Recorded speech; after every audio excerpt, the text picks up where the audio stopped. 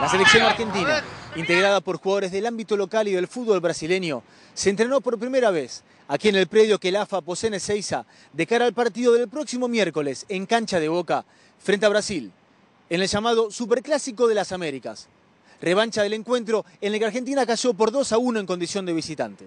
Sebastián Domínguez, Juan Manuel Martínez y Hernán Barcos hablaron sobre este trascendental encuentro. Creo que Argentina siempre tiene que ser protagonista y ganar todo lo que se juega. Eh, más allá de que por los últimos años no se ha conseguido, creo que bueno, hoy es una nueva oportunidad para los que nos toca vestir la camiseta de, de ganar, si bien este, este mini clásico que, que, siempre es importante ganar, y más contra un rival como es Brasil, con las grandes figuras que tiene. Es una oportunidad, eh, creo que varios jugadores lo que, de la última eliminatoria han llegado acá por los partidos, más allá, más allá de, también de lo que han hecho cada uno en su club, pero también en gran parte de lo que han hecho en los amistosos con Brasil. Creo que si vos te fijas en la última eliminatoria eh, de la selección local hubo 10 jugadores, entonces eso habla de que de la importancia de que todos tienen las mismas posibilidades jugando afuera o acá, entonces creo que eso es muy importante y mantiene a todos los jugadores del mundo motivados. Acá me parece que,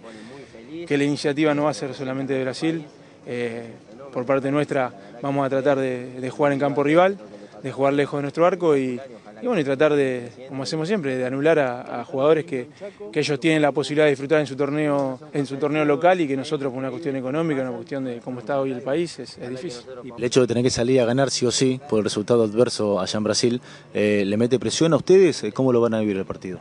No, obviamente que uno presión siempre tiene, pero yo creo que tenemos un equipo